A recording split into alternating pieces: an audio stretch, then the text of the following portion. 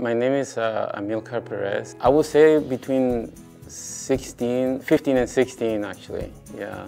And uh, it was a time where when I was actually planning to see what I was gonna do in life pretty much, you know, like, because I was already trying to take courses to see for like college or whatever, right? But it didn't work out that way. you know, you just have to keep going with life, right? Because life moves on.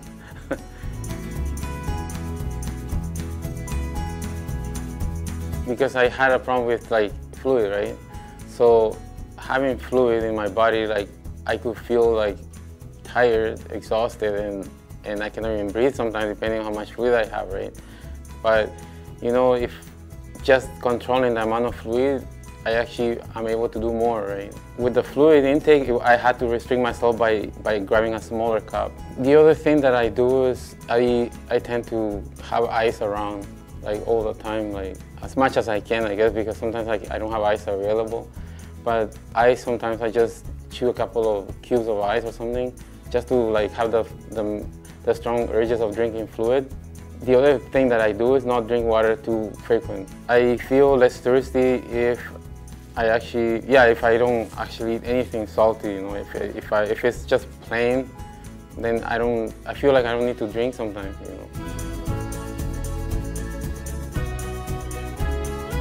One thing that I have is that actually helped me out with, with uh, like being active, I guess, is photography because I do a lot of walking and hiking and all that, right? So that brings me out, like that camera is basically what helps me, kind of like, like kind of like that, that, you know how, because I like photography, that basically kind of like encouraged me to go out and, and bring my tripod and all my gear and everything and go out and, and do things, right? Take photos or, or you know, the, you know, kind of like as a side effect of all of liking photography, I do exercise. Family or your friends, like close friends actually, you know, when they understand what you're going through and then they know that, you know, all the difficulties and hurdles that you have to go through, you know, it actually makes it a lot easier and more more, uh, you know, more, comfortable to be living, I guess, you know, life, you know.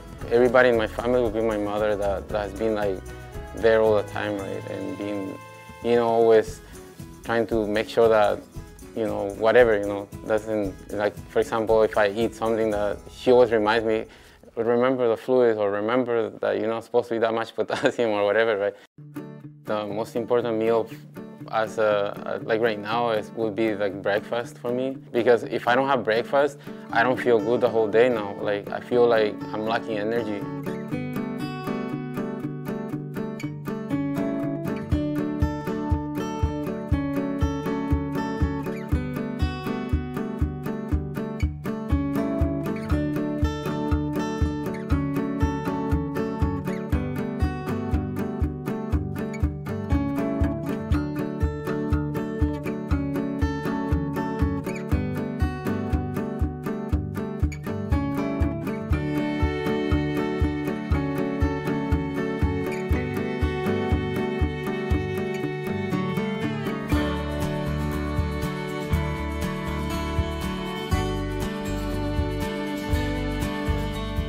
It doesn't have to be like this elaborated plate, you know, it, it can be very simple actually.